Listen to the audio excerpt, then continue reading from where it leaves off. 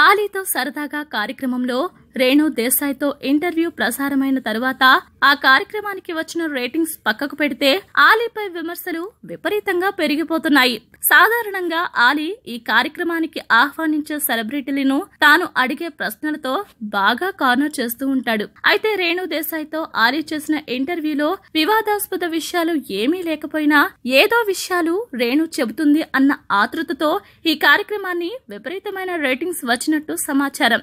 ఇదిలా ఉండగా ఈ మధ్యన ఎన్నికల ప్రచారంలో పవన్ ఆలీపై చేసిన కామెంట్స్కు ఘాటైన సమాధానం ఇచ్చిన ఆలీ తీరును ఇండస్ట్రీలోని చాలా మంది ప్రముఖులు కూడా తప్పుపడుతున్నట్లు టాక్. ముఖ్యంగా ఆలీ పవన్లతో సన్నిహితంగా ఉండే ఇండస్ట్రీ ప్రముఖులు కొందరు ఆలీకి ఫోన్ చేసి ఆలీ పవన్ పై చేసిన కామెంట్స్ పై వివరణ అడగడమే కాకుండా పవన్ ఆవేశాన్ని తెలిసి ఉండి కూడా ఎందుకు అనవసరంగా పవన్తో మరింత దూరాన్ని పెంచుకున్నావని అడిగినట్లు టాక్. అంతేకాదు మరికొందరు ఆలిని ప్రస్తుతం హైదరాబాద్లో ఉన్న పవన్ను వ్యక్తిగతంగా కలిసి సారీ చెప్పవలసిందిగా సలహా ఇస్తున్నట్లు సమాచారం. ఈ విషయమై ఆలీకి సన్నిహితుల నుండి ఒత్తిడి పెరిగిపోతున్న పరిస్థితుల్లో ఈ ఒత్తిడి నుండి తప్పించుకోవడానికి ఆలీ తన కుటుంబ సభ్యులతో లండన్ వెళ్ళినట్లు వార్తలు వస్తున్నాయి. అయితే ఆలీ ఇలా లండన్ వెళ్ళడానికి తనపై వస్తున్న ఒత్తిడి తప్పించుకోవడానికా?